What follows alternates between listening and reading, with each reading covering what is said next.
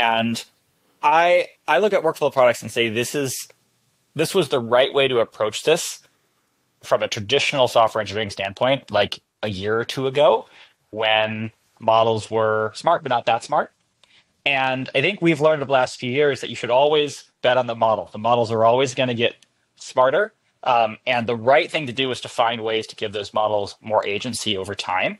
And I think the reason people have been shy about doing workflow automation like fully agentic all the way down um, is because they didn't really trust it to be reliable. They didn't feel like the models were there yet. But I think that was the time. I think we've gone through that transition from, you know, you have a workflow that defines step one, step two, step three, step four, and maybe there's some LLM calls inside it to what if you just let the agent plan the whole thing? Um, and the advantages you get out of this are tremendous because uh, let's say you run into an error state in a workflow product, if you don't have a way to handle the error state, it just breaks. In an agent product, it just kind of figures it out, works around it. It can handle nuance much better. And also, as you mentioned, it's just a whole lot easier to set up.